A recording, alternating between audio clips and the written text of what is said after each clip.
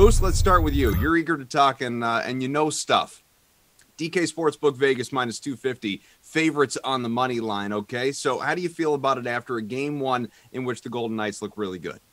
Yeah, I mean, I, I, think Montreal played them pretty close, if we're being honest. Like, I think that the game was closer than the score kind of indicated. It was one of those situations, but I'm, I'm not quite ready here to just jump on the Montreal side. I mean, uh, the line is certainly big enough if you want to do that. Now, the nice thing is, this line has gotten so big that you can take Montreal here, and I would do that, but I would go to the puck line. I would take them plus 1.5 in this game, minus 127. Carey Price has a very good road record uh, in these playoffs. He's five and two. Uh, I, I, think that, like I said, I think that score was a little bit is just not, not quite indicative of how the game necessarily went. I think Montreal had their chances early; they just didn't, just didn't capitalize. I'm expecting a close game too.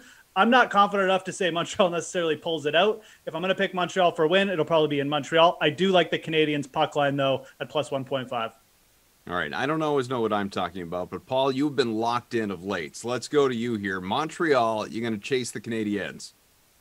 No way. I think the sand is about ready to pour out of Montreal's hourglass in this surprising postseason run. Consider that Petry's out with a broken finger. finger. Shea Weber's playing with a hand injury that removes their top veteran defenseman as threats to impact this game. Tatar and Evans may be ready to return. That's a lot of ifs, guys. And uh, let's face it, the top line for Vegas didn't show up in that first game, and they still won by a, a pretty comfortable margin. I think that's going to change tonight.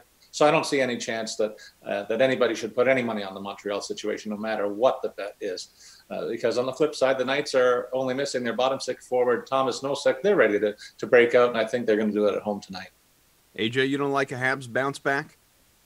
I don't, and I, I like it even less than I like agreeing with Paul here. So you know, th- this one pains me here, but yeah, I'm not chasing the value on the Habs here. They're just too outmatched throughout the lineup. As Paul mentioned, you know, Petry, Evans are, are both technically game time decisions tonight, but I, am not expecting we'll really see either in, in action. Uh, and and I also don't like getting just even money on on the puck line here to give up a goal and a half. Like that's just not enough value for for the risk. So I'm going to look alternate puck line and get the Knights at minus two goals for plus 155 to grab some good value here. It's a margin of victory they've achieved in three of their last four games. I expect that trend to continue. And if you want to take on that little bit more risk to avoid the potential push, as you guys know I love to do, you can go minus two and a half for plus 195 as well here. Paul, you can uh, take a look, obviously, at the odds on the DK Sports book. See the NHL standard five and a half as far as the goal total here for this one. You're going to go over or under? You know what? I'm looking at the over tonight. I credit Montreal for starting strongly in game one. I expect the Knights to get off to a better beginning, and that's going to lead to a lopsided score in their favor. The top line will show up and make up make up much of that uh, score line in, in, getting us to the over, and uh, I don't think it'll be a problem. I think they'll get there pretty early tonight.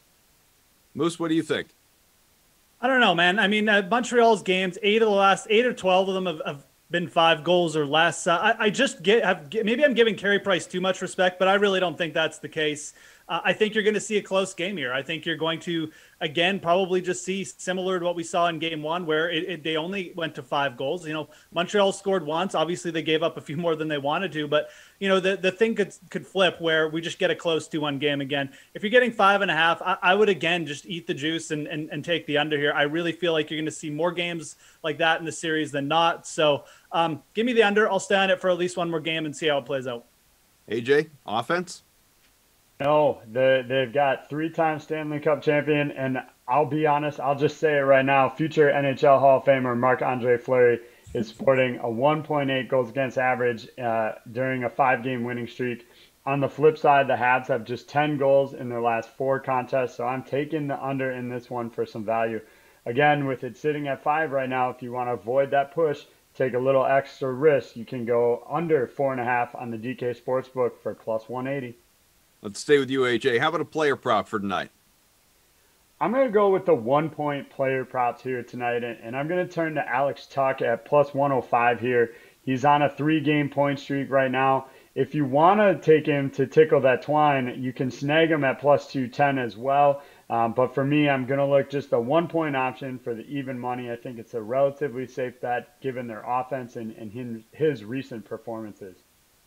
Pablo, you were so excited yesterday about player props. You brought literal props. What do you have for us today?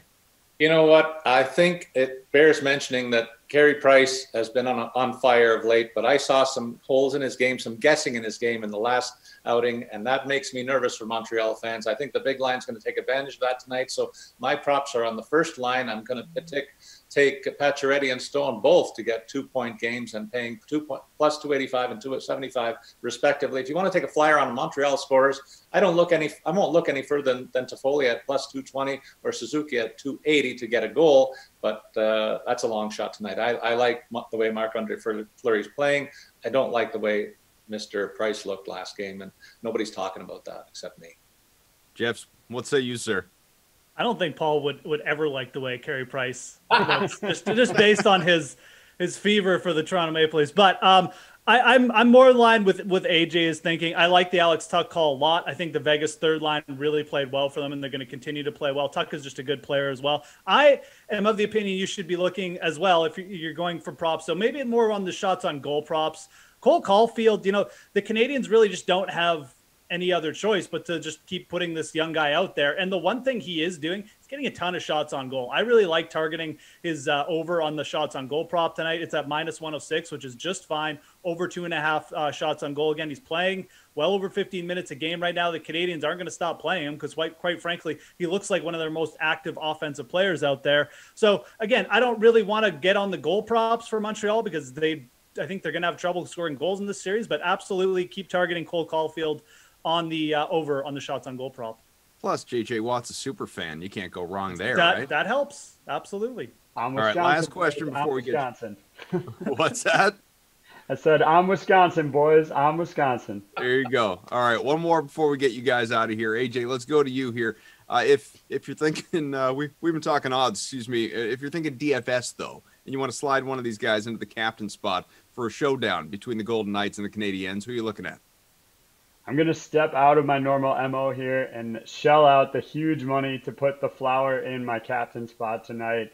Uh, I, I, think he's been playing just too well to, to really avoid it. Now, uh, as a value option for you on top of that, because you're going to need some value when you're paying that price tag, you can look to a guy like Alex Tuch, who's only coming in about 6K.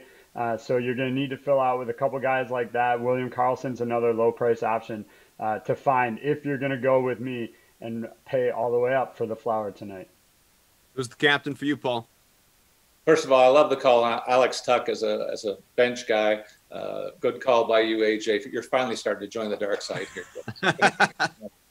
I've focused on the top uh, line for the Knights tonight to be impactful, and that means I choose between Stone or Pacioretty and the tonight's showdown format guys. I'll go with Stone because he's going to cost me three thousand less than his line mate, and that'll make it easier for me to get Fleury into the lineup tonight uh, as a, a, support guy. I don't think he's going to get the big game score though, because this is going to be a game where I think the Canadiens are not only going to have trouble scoring, they're going to have trouble getting shots on goal. Geoff, wrap it up. Look, I, I, like the goalie calls tonight, but if you're if you're in big GPP, like I really think you got to lean Carey Price here. He's five and two on the road, like I said. I mean, this is kind of a do or die spot for Montreal. I know that sounds crazy, but if they don't split this these two games, like I, I don't see this series going their way. If you just hate that call so much, Alex Pietrangelo is just absolutely killing it in the playoffs. Blues fans just crying their eyes out watching this guy play right now. You know, averaging over four shots on goal per game. Even if it does end up being a bit of a shootout, Peter Angelo is playing over 25 minutes and producing. I think his price is really, really good right now uh, for a captain spot. So again, if you're leaning a little bit more Vegas wins a close game, I would go him.